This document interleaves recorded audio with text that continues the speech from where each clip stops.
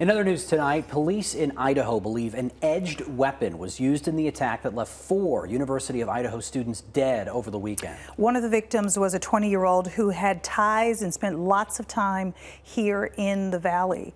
We are on this story. Holly Bach spoke with her family. And what are they saying tonight, Holly? Well, Yetta, we'll start with the fact that there are so many questions here. One of those students found dead inside of a home near campus is 20-year-old Xana Kernodle, who often visited her dad, who lives right here in the valley in Avondale. Tonight, her sister tells me their family is extremely confused about what happened. This is stuff that shouldn't happen, especially in a small, quiet town like Moscow is, where we're heavily uh, involved with the university. Tonight, 20 year old Xana Kernodle's sister sharing this message with me.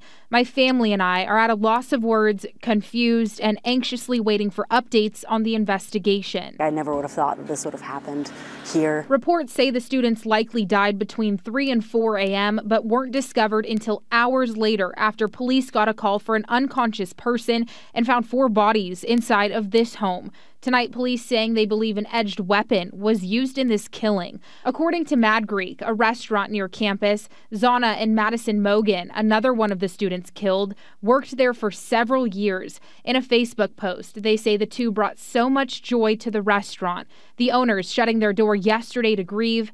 The university also canceled classes Monday and set up counseling resources for students and employees. This is rocking their world. Many of them come from small communities where things like this have never happened. Tonight, there are still so many questions. Police say there are currently no suspects in custody. They believe this was an isolated, targeted attack with no threat to the community. But they also say they are working to identify persons of interest.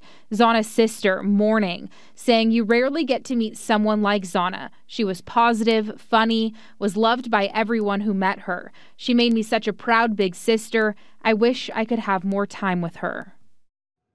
Now, autopsies are expected to be completed later this week. That will hopefully be able to give us a better picture on the exact cause of death. The university also postponed a vigil until students return from Thanksgiving break. In the newsroom, Holly Bach for Arizona's Family. Just an awful story. Holly, thank you. We've got new